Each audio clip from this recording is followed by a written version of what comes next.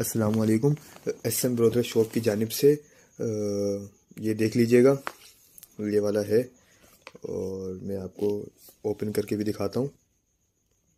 जी, ये देख लीजिएगा, इसकी गाइडलाइन है कंप्लीट और ये इसका नाम लिखा हुआ है। और बाकी ये जो मेन प्रोडक्ट्स है, वो हमारा पड़ा हुआ है।